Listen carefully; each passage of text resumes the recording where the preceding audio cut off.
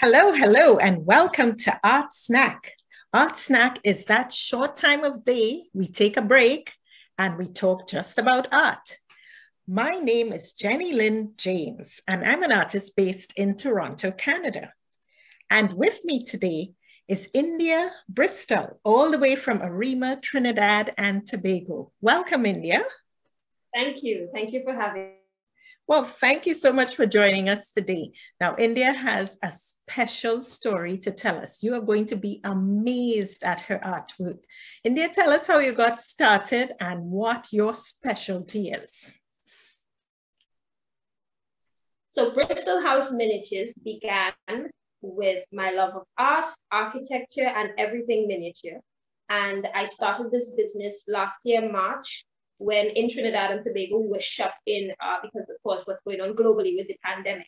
Yes. Um, my business before this was in virtual administrative assistance, which I offered to clients both here and abroad, uh, okay. companies and individuals alike. And there really was nothing going wrong with it except to say that I was losing, you know, the drive to do it. Okay. It became monotonous and mundane and just too difficult. Um, so I decided to take the risk and put my art out there. And so I started working on the first piece, which was the Mama Beulah's house uh, from March last year. Yes. But I only went public with my work in December of, of 2020. Oh, okay. Uh, thankfully, thankfully, it's been consistent in terms of commissions and in terms of sales. I'm grateful for that. Yes. Um, persons are very interested um, very excited about what I'm doing. Um, and I think it's a wonderful way to put Trinidad and Tobago on the map, you know, our culture and what we have here. Let's show it off. Right, right. So what we'll do now, I would like to show the viewers some of the miniature houses that you've created. So I'm going to just pull them up on the screen and maybe you can um, tell us the story behind each um, each uh, sample that we look at. So this one, for instance, what is the story behind this creation? It's just beautiful. So this is Mama Beulah's house.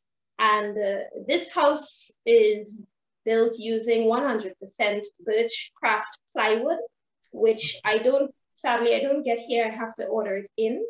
Um, but this house was created, actually, it began as a scale model of an actual existing house, which is on Carlos Street in Port of Spain. Okay. Uh, the mistake I made was that I began building this using a photo I found online. And then when I did go down to see where the house is at, they've done serious renovations to okay. it. Okay. So, so this is a historical um, perspective yeah. And so I had to imagine the rest of it. Um, but it it went well enough. Yeah. Um, so this house is built with uh, with uh, um, a lamp cord and a switch I've installed so that you can plug it in and it lights up from the inside. I also did it in such a way where there's a little trap door um, at the base of it. Yes. You can reach your hand under open that and you can literally change the light bulb if you need to. So it's not it's not designed in a way where if the light goes, you know, that's it. You can't have that feature anymore. Right. Um, right. I, I did keep that in mind. And so yeah, this is Mama Beulah's house. Um, it features the features of the yard. I wanted to to you know give you that old time homely feel of going to your grandmother's house. Yes. You know, so with the the twin top concrete washtub at the back of the house. Oh. The, the, barrel at the side of the house, the drum with the galvanized sheet that you know we catch water from the spout above. Uh, okay. Um, yes. Uh, the little the little um uh, shoemaker's bench that sits on the porch with your afro comb and your barber's mirror on the bench. Okay, so the anthurium plant in the little paint. Yes, I see the anthurium. these things I thought uh, would evoke that sense of of um of fondness for you know the, the times you would have had past when you'd be playing on those stairs. Who would have fallen on those stairs and you know you bust your knee, you right, right. So a lot of nostalgia. Let's look yes. at another piece now. Um, I'm going to pull up some more of your work to show the viewers. This one, tell me um, how this work came about. Right, so third world famous um, is actually a Trinidadian artist who resides in the US.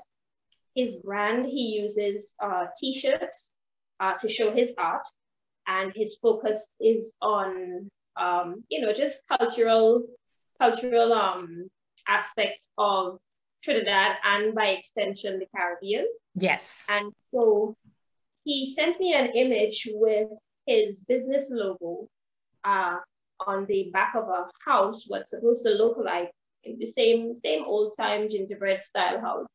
And he asked me, you know, India, could we make this into 3D? Um, and so that's exactly what we did. We yeah. had to imagine the other three walls because from the image, it was just the back of the house with his logo just below the window and uh, a clothing line strung between two um, two banana trees. And on this clothing line, he put um, his items on there, his actual t-shirt designs. So okay. I would have done with a commission like this, I would have done uh, preliminary drawings. Yes. And I sent it to him for him to approve.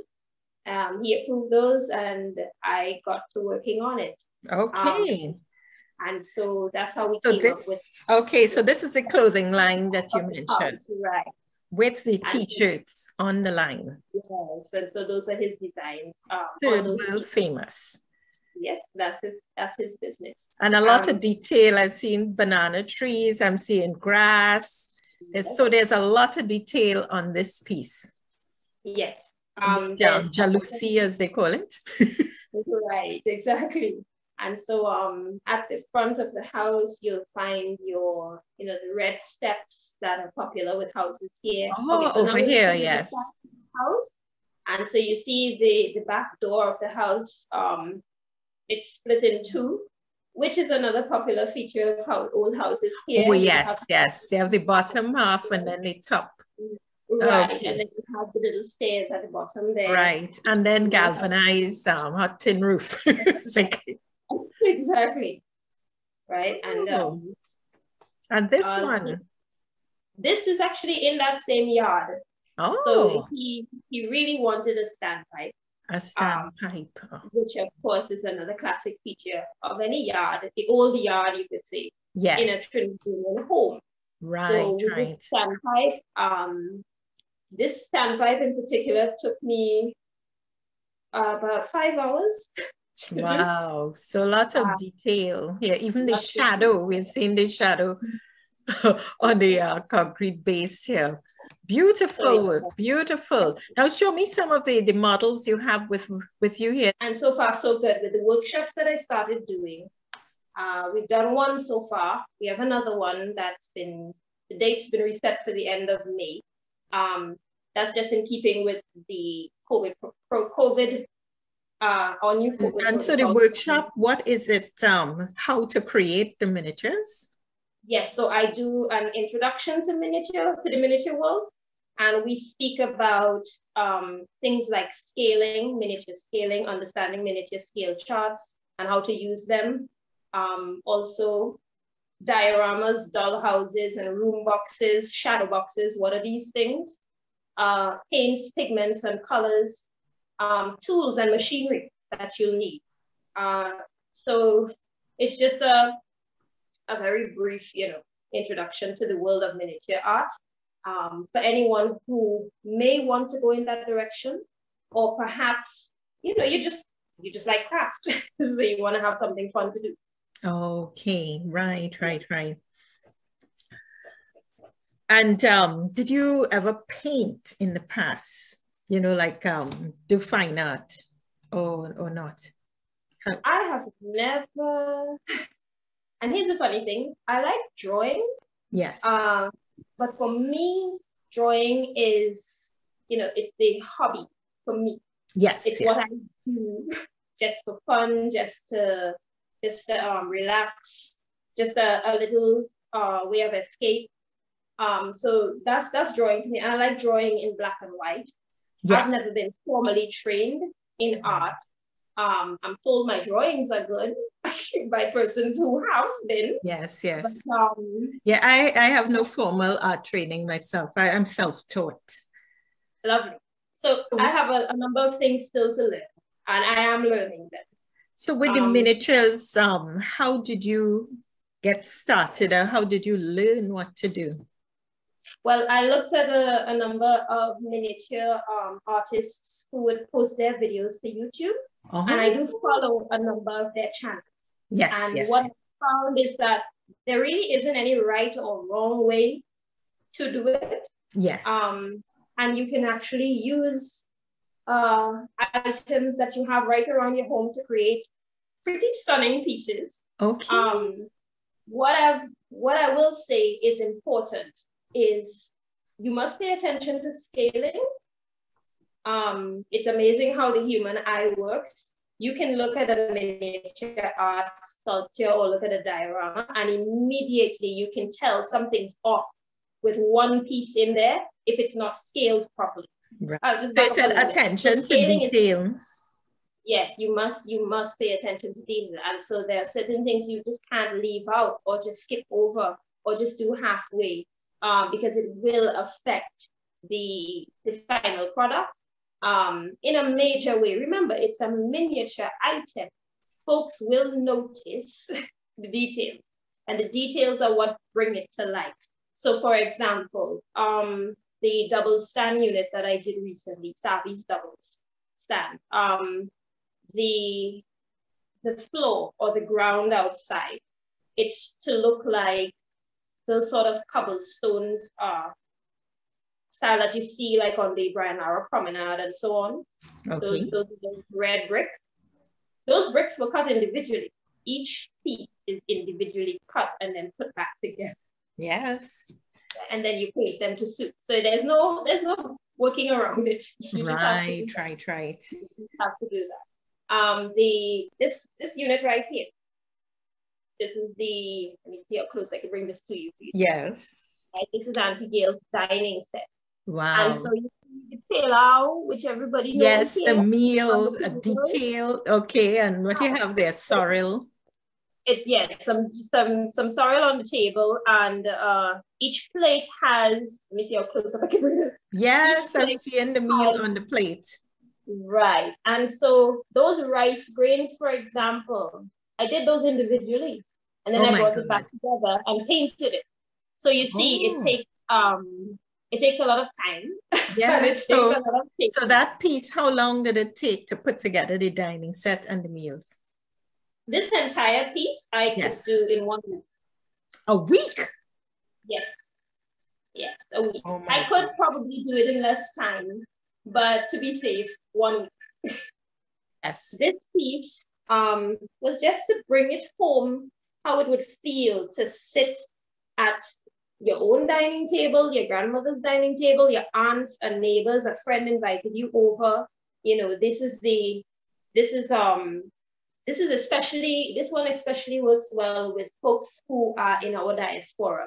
Because, yes. you know, you're living somewhere else, you may be missing this type of home cooked meal. Yes, you're missing the food, you're missing your sorrel. So it's good to have a miniature version of it. Wonderful.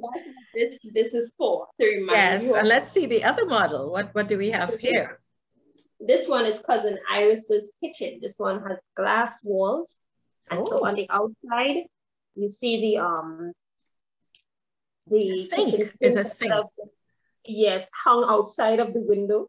Yes. Right? And then you've got on the inside here, you've got your, your small kitchen table with yes. a chair. You've got your market bag with your ah. produce, right? And then right, you've got right. your Crixton under the table. And a linoleum floor. I haven't seen that in years. and then your, you know, your your um kerosene uh your kerosene stove okay. at the back on the table. Right, and right. All these little these little things that would help uh, anyone celebrate what it is to be Trini, what yes. it's like to live in a Trini home, grow up in Trinidad and Tobago. Right, right. Thank you for that trip down memory lane. I'm remembering my grandmother's house as, as you show me these miniatures. So India, tell the viewers how they can find you. How can they get to see more of your work and order that commission that they've been longing to get? so we're, we're found on Instagram. Uh, you're looking for Bristol House Miniatures on Instagram, on Facebook, on LinkedIn as well. And we do have a website, um, and I'll let you post those details with this video. Yes. Um, Bristol you can House Miniatures. House Miniatures. Or you can even WhatsApp me at 780, that's 868-780-7723. Um, and I try my very best to respond as you know almost immediately. Yes, yes. she's very good at responding. I'll tell the viewers, like yes, just a, a, slight break, and uh, she will respond. Well, thank you so much. That's all we have time for today. But I sincerely appreciate you being on Art Snack, and I hope people go to Bristol House Miniatures and on uh, Facebook, Instagram, and website to check out your work. Thank, Thank you, so much. much. It was wonderful. Thank you. Yes, and the viewers, please tune in next time when we have another surprise guest for you. You can also find some of my artwork at jennylyndjames.com backslash art and on Instagram and Facebook at Art by Jennylynd James. Thanks again and bye-bye everybody. Bye.